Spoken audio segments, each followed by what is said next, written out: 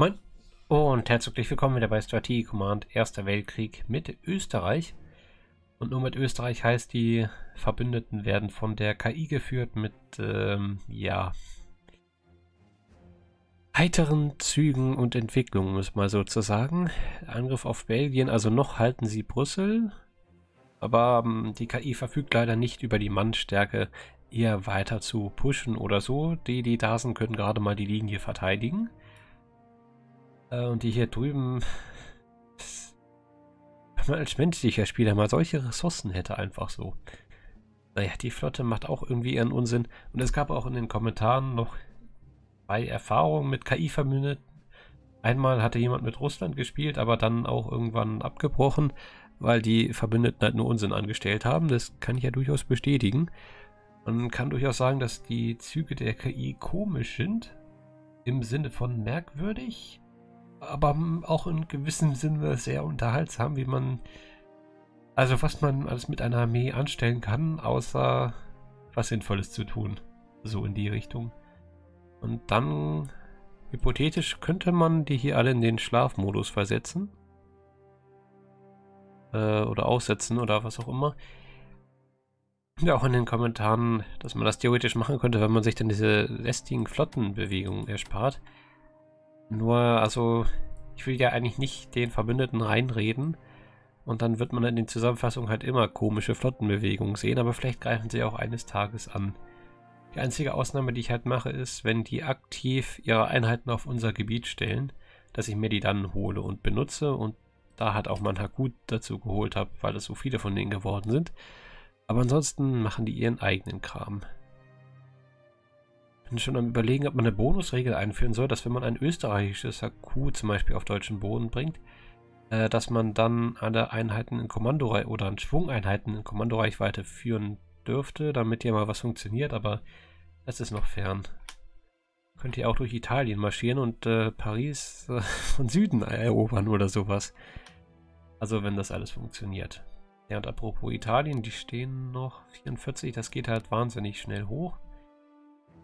Äh, und so wie die hier gerade stehen, bietet es sich doch an, die als Verstärkung nach Italien zu schicken. Also den und auch ein HQ. Wird natürlich in Serbien die ähm, Kommandopower ausgehen. Aber das muss man dann sehen. Die KI wirft uns ja auch laufend neue deutsche Truppen vorbei. Also, wird schon schief gehen. So, wir sollten... Na gut, wir könnten den vielleicht auch wegrollen, wenn ihr stark auf den haut.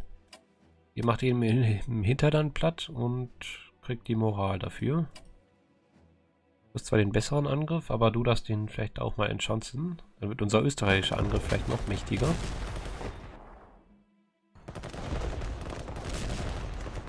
Ähm, mittelprächtiger Anfang.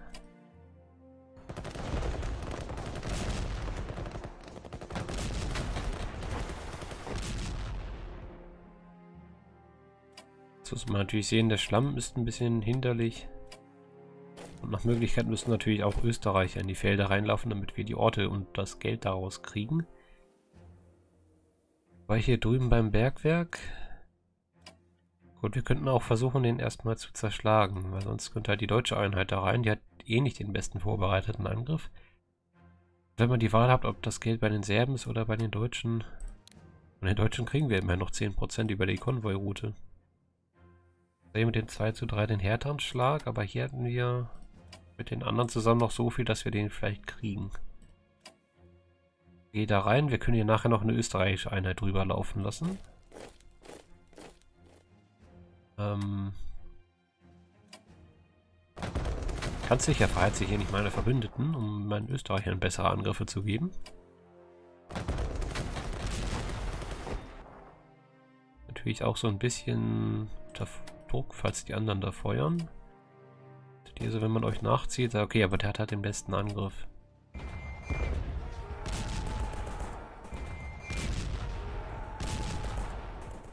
Könnte es da noch rein?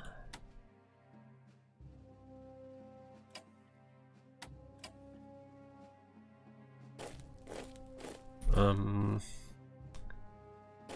schon ein bisschen gewagt, den da vorne einfach so dann stehen zu lassen. Können hier aber dich noch durchtauschen und uns zumindest an dieser Stelle noch verschanzen.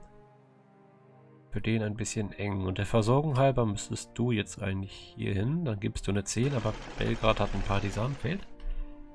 Aber wir können ja diese Schweine dafür nutzen. Man muss nur darauf achten, dass man alle Bewegungspunkte ausgibt. Weil sonst zieht die KI dir noch weg am Ende. Oder, gut, wir können den noch in den Schlafmodus setzen.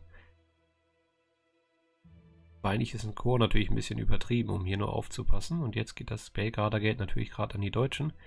Muss also eh noch ein Österreicher vorbei. Okay, wenn ihr hier noch einen Chor kriegt, könnte man vielleicht die Abteilung hier runterschicken. Nicht so drehen, du kannst das auch zu Fuß machen. So, hier oben laufen die Belagerungen am Sumpf. Da kriegt man jede Menge Feinde unterversorgt demnächst irgendwann. Wir können hier an den Seiten sogar schon anfangen.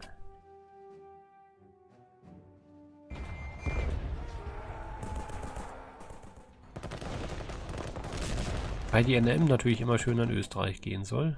Denn die Deutschen, die haben doch auch viel mehr Punkte hier. Die haben 50.000 Start. Ich gerade mal 32. Okay, an welcher Ecke fangen wir an? Erstmal hier. Gut, im Prinzip, man kann sich ja Zeit lassen. Noch bis die noch irgendwie einen Schritt weiter unten sind. Nicht damit gerechnet, dass hier noch einer im Kessel drin steht, ehrlich gesagt. Gut, dann erwischt man eben noch einen.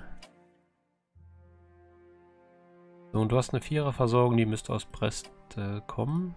Das natürlich auch mal... Oder vom... Da hinten steht sogar ein Haku. Was steht denn alles in diesem Sumpf drin? Eben nachrücken. So, ihr kümmert euch weiter darum. Und das wird halt jede Runde leichter, weil deren Versorgung immer mehr fällt. So, hier drüben wäre es ja mal nicht verkehrt, eine funktionierende Frontlinie aufzubauen. Hier drüben hin. Ihr ist da, ihr steht da. Hier waren 4 zu 1. Nur 2, 2. Auch nicht unterstellt. Gut, man könnte hier stehen mal rausnehmen, weil er da eh noch rumsteht. Ändert aber nichts und ich hätte den trotzdem lieber drin als den Reiter. Vielleicht ich mir doch mal ein paar deutsche Punkte aus und mache den zumindest etwas fitter. Wir haben ja auch das Bergwerk gekriegt in Serbien, dann ne, kann man da auch mal was ausgeben. So, und hier drüben könnten wir den schlagen. Könnten aber vielleicht auch Lublin einnehmen. Um an dieser Stelle weiterzukommen. Ich meine, das 3-1 können wir dem vielleicht immer noch verpassen. Aber das könnte hier gerade also es könnte funktionieren.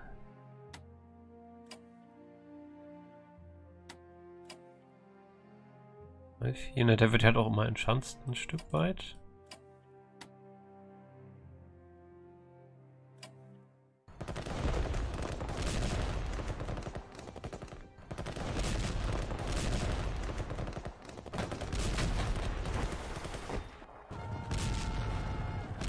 Schön und du darfst deinen 3-1 natürlich trotzdem machen. Und du kannst da und von da müsste genügend Versorgung hochfließen und was sollen wir denn noch mit noch einem hier drüben? Ehrlich, so ein bisschen dürft ihr eure Einheiten ja auch selber mal verwenden, liebe Verbündete. Ich schicke euch den mal hier drüben wieder vorbei. So. Dann läuft das. Gut, das äh, waren unsere beiden Fronten. Wir haben ein bisschen Geld. Und die wollte ich in, denke ich, in einer... Nee, hier ist schon eine. Ich meine, gut, wir könnten direkt noch eine Kanone kaufen, aber je nachdem wann die Forschung... Aber die läuft schon auf Hochtouren.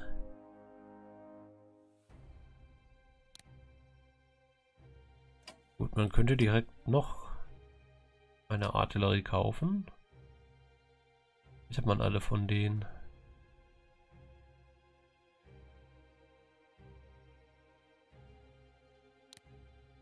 Sicher nicht verkehrt, wenn auch gerade die Finanzmittel da sind.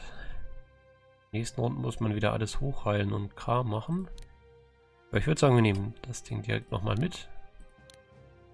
Was haben wir? Okay, ein U-Boot ist nicht so wichtig. Und eine kaputte Artillerie, die, also die noch geheilt werden muss. Die Frage, wer kriegt die? Ihr schafft das, auch wenn ihr jetzt eine HQ-Aufsicht verliert, hoffentlich auch so, weil er doch bald geschafft ist. Hier reinmarschieren. Hm. In Italien fehlen noch Einheiten für richtige Offensiven. Also vielleicht hierhin und äh, Wobei, die kriegen wir auch alle eingekesselt platt. Die Warnogrot könnte hart werden. Könntest du erstmal helfen, da lang zu kämpfen? Ich meine, wir kriegen ja noch mehr Kanonen in nächster Zeit dann.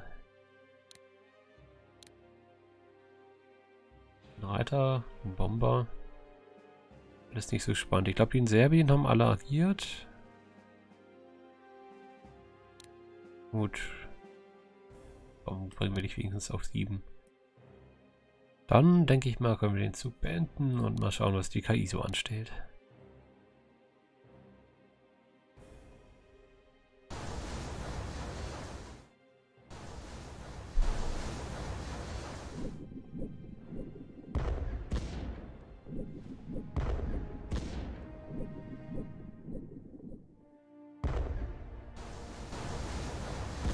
Briten sind alle da oben und haben zuletzt ein U-Boot mit Schlachtschiffen umstellt oder was das da gerade war. Könnte auch irgendwie im KI-Skript drin zu sein, dass die Reiter sich von Belgien da irgendwie zurückziehen. Uns von dem Aspekt verstehen, von dem Reiter nun mal als weiche Einheiten zählen, während Infanterie als harte Einheit zählt. Äh, und also die Reiter an der Frontlinie andauernd mehr Verluste erleiden würden.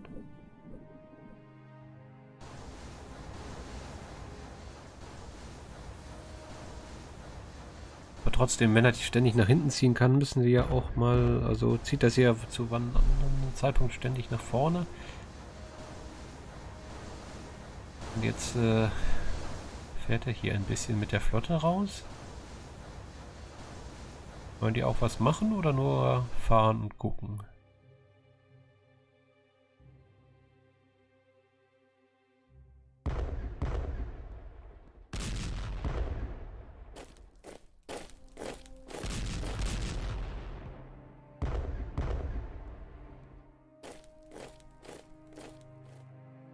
Häufig die auch überall in einen Feindkontakt reinrennen.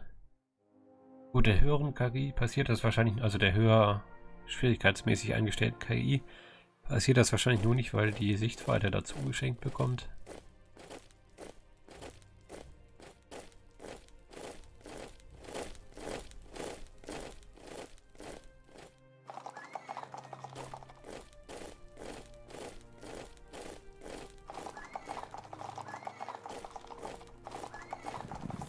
Ach ja, die Osmanen.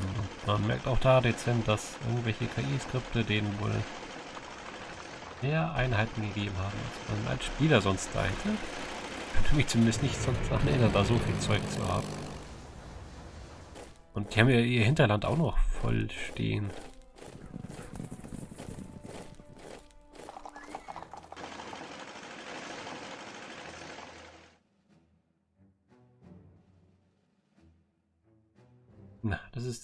Das Unterhaltsame am KI-Zug. Machen die noch was Sinnvolles oder einfach nur da? Da kommt ein britisches Akku direkt vor denen.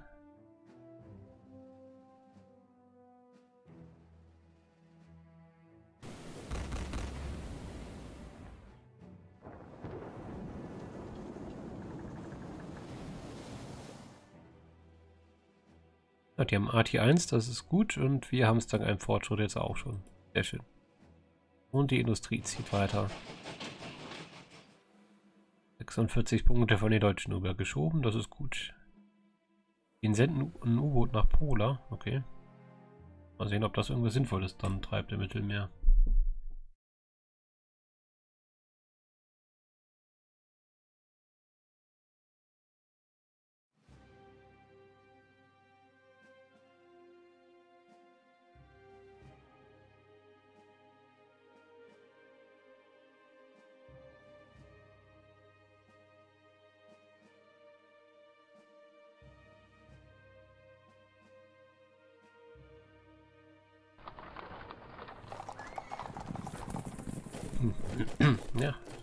Den Serben da ruhig zurück, dann kriegen wir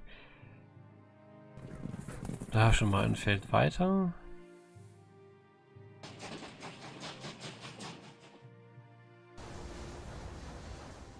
Aus da ruhig in den Feindkontakt.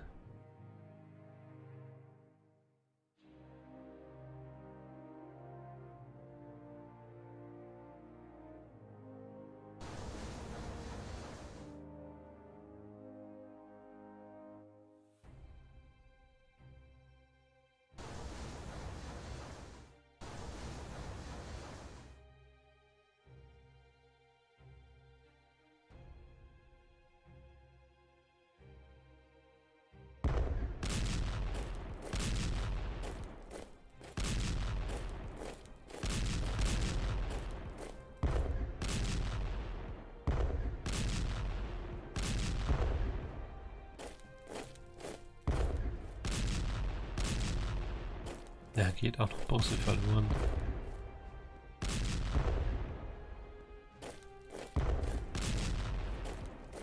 In normalen Umständen wäre der Westfeldzug mit dem Ergebnis bisher eine totale Katastrophe für die Mittelmächte. Aber das hier sind keine normalen Umstände mit der KI.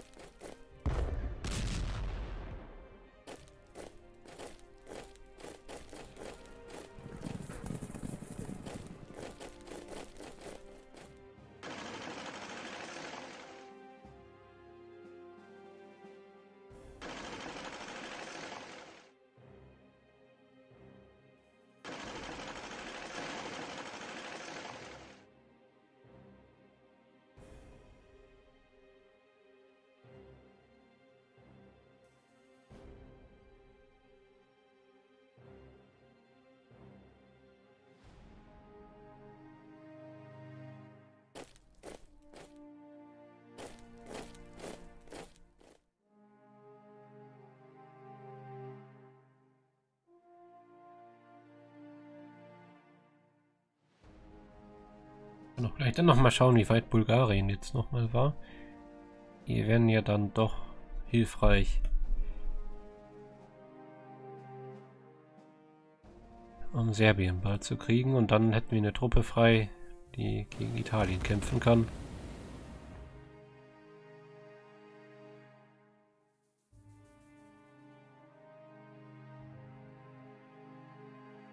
Ah, Georg von Trapp beginnt seine Laufbahn als österreich-ungarischer U-Boot-Kommandant. Doch vielleicht mal Grund genug, das eine U-Boot, das wir bekommen haben, mal rauszuschicken. Und irgendwann zu hoffen, dass das Wetter mal wieder gut wird.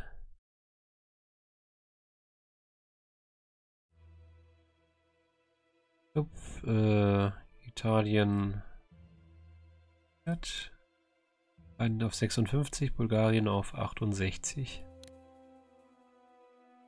So, dann komm du hier schon mal ran und mauer dich hier.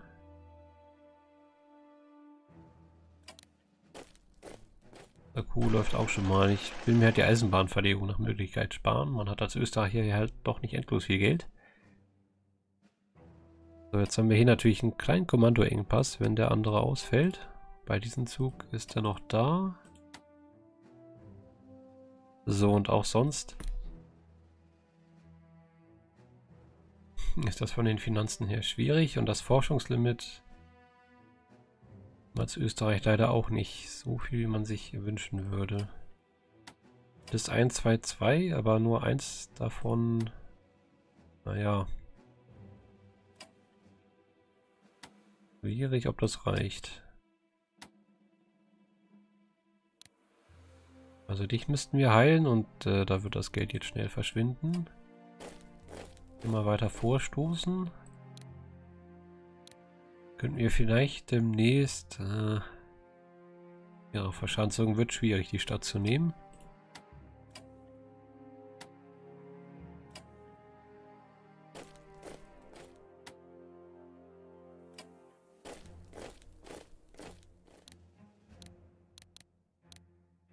Dann geht hier schon mal ran. Da ist das Gebirge, deswegen kommen die da nicht schnell durch.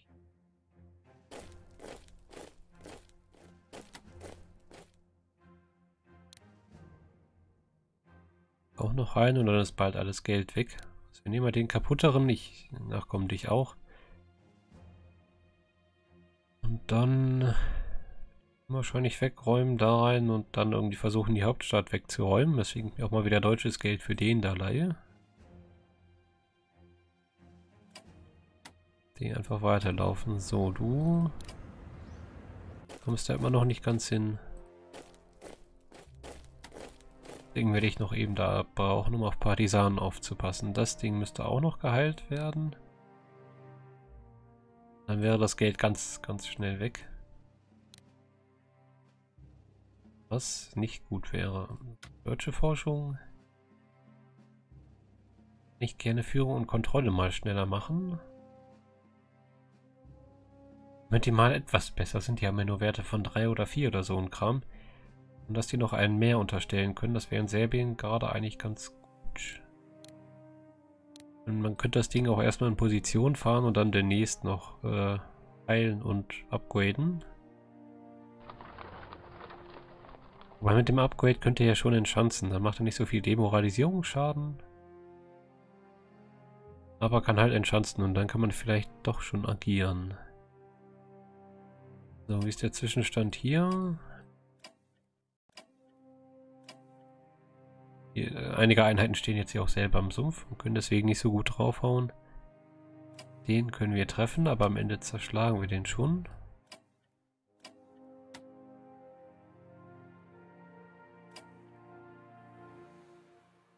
Du, sonst äh, nimm mal den da draußen lieber, falls die da jetzt wirklich Stress machen. 1, der ist auf 0, 2, 2, 2. Es riecht alles noch danach, dass man einen Moment weiter belagern müsste.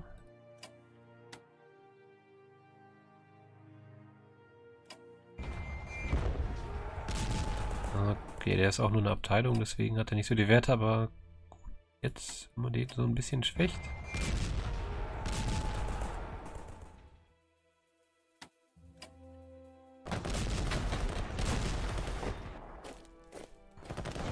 Ganz sicher verhält sich jetzt nicht wieder Verbündete, um die österreichischen Einheiten zu schonen. Nein, nein. Es sieht vielleicht so aus, aber das... Äh, 3, 1, 3. Ich meine, ihr könntet den versuchen schon mal rauszukriegen.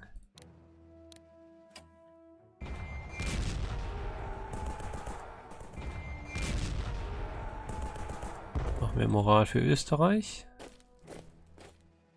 5-1, aber das wird ihr nicht zerlegen. Aber gut, dann zerlegen wir ihn halt nächstes Mal.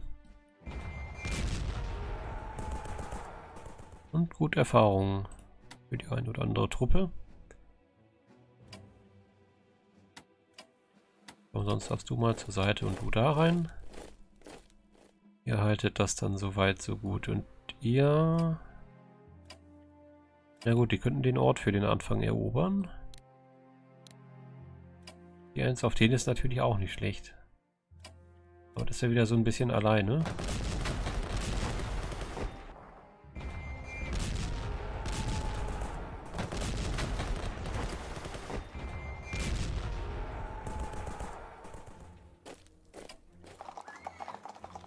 Er prallt ab. Der kommt noch nicht ran.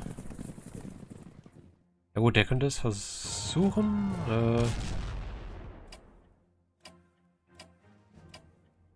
Gut, du könntest da rein und einfach mal inständig hoffen, dass du überlebst. Da verschanzt und du kannst da noch ein bisschen ran.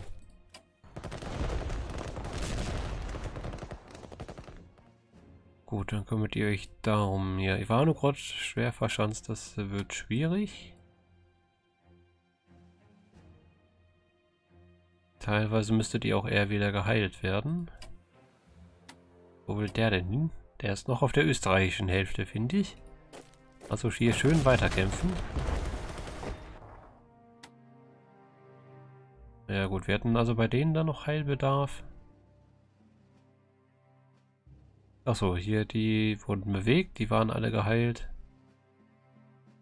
Sonst können wir euch auch erstmal fitter machen.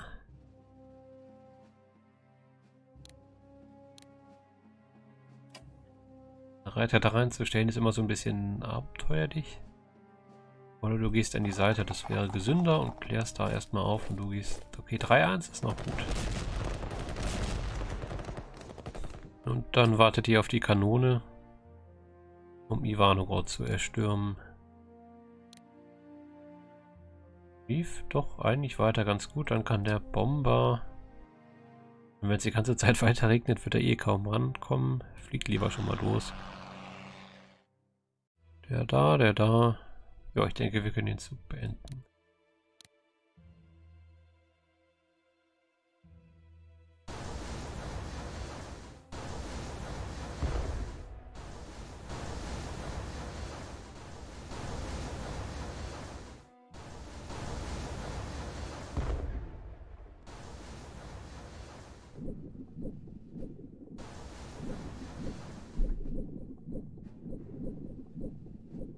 Endlich mal einer, der trifft. Ich meine, klar, es ist Regen, die Angriffe sind alle reduziert und so.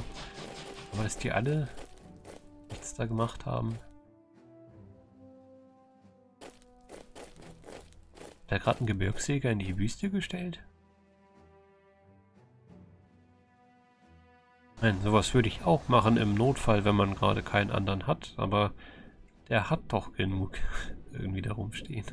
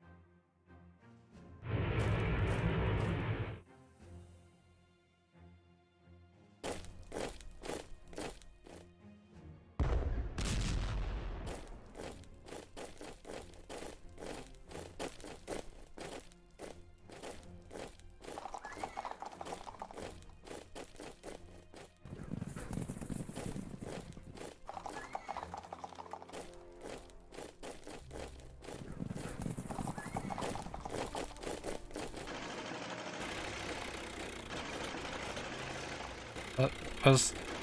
Warum? Reichen dir vier Gebirge da drüben im Osten nicht? Warum musste der denn da jetzt noch hin?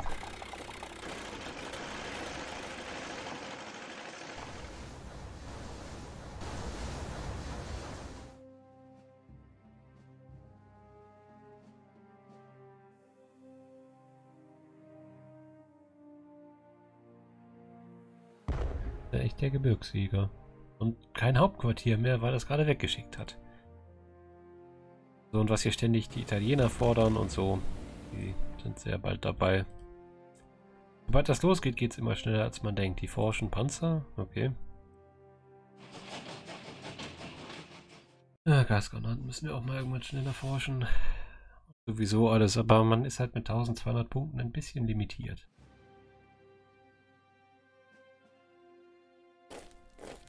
Jetzt lassen die sich echt die ganzen Truppen bei Tilsit einkesseln. Und ich bin nicht mit dem U-Boot rausgefahren. Das äh, habe ich verpennt.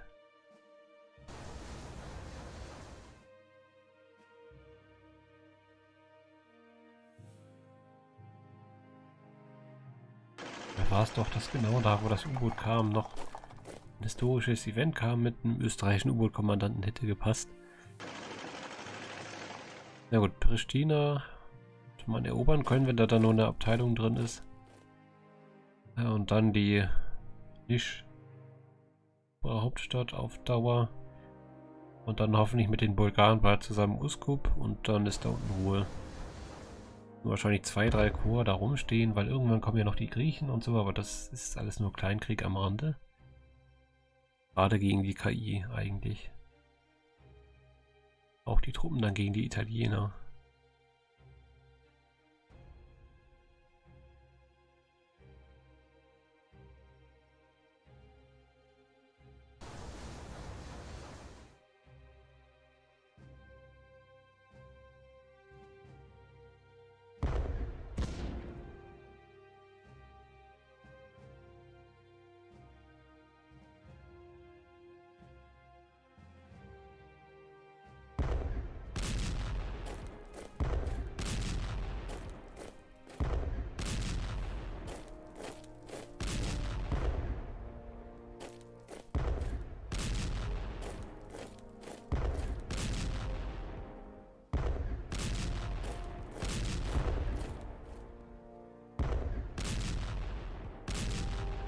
Wenn mal die deutsche KI ist klug genug, nächstes Mal Tilse zu befreien. Genügend Truppen wären ja da. Die da auf jeden Fall den Kessel nochmal aufmachen könnten. Jetzt kommen die da wirklich noch von der Seite.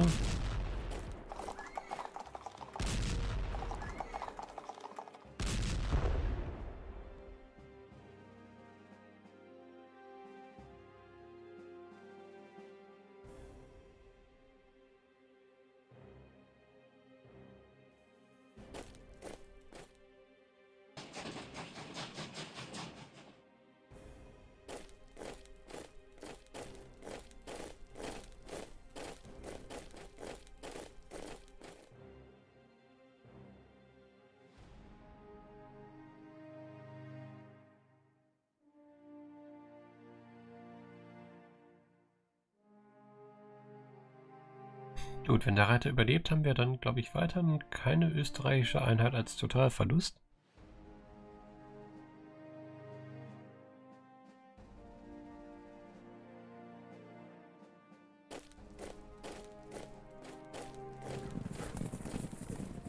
Das wird an der Front da langsam eng. Na gut, äh, hier die Sumpfbelagerung dürften jetzt oder in diesem Zug durch sein, also man kann jetzt schon raufhauen. Hätte die bald und dann können wir da auch mal weiterarbeiten.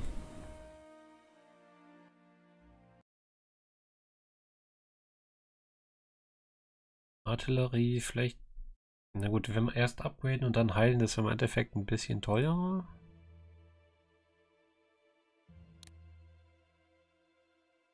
Aber dann könnte man Ivanogod nächstes Mal mit vier geschossen und er hat eine Verschanzung von sechs. Ja, das heißt, die Russen haben den nächsten Grabenkrieg. Hinten ist das nicht ganz so viel, aber hier oben wird es immer unangenehmer. Okay.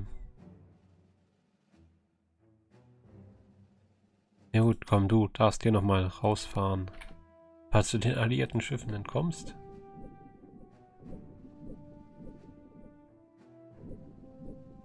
Es ist nur ein U-Boot, aber U-14 nimmt Fahrt auf. Gut, ihr könntet ja, die Hauptstadt ist so ein Problem mit ihrer Viererverschanzung. Weiter bei 68, aber wenn ihr hier ein NM-Ziel haben und hier dann noch tiefer ins Land fluten, das Akku noch irgendwo, das muss da ja sein, wenn wir den hier abschneiden. Das dürfte sich alles klären auf Dauer. Das müsst ihr erstmal halten, hier draufhauen und vernichten. Das demnächst angehen und dann wahrscheinlich hier rauflaufen. Und hier vorne vielleicht einkesseln. Damit war schon eine primäre Versorgung drin, aber naja, wird schon. Werden mit Führung und Kontrolle ist nächstes Mal fertig. Sehr schön. Und Italien ist aber auch so ziemlich nächstes Mal mit drin. Aber jetzt hier in Position und kann sich verschanzen und das Akku kommt ran. Naja, gut, dann damit an dieser Stelle auch erstmal wieder vielen Dank fürs Zuschauen und bis zur nächsten Folge. Bis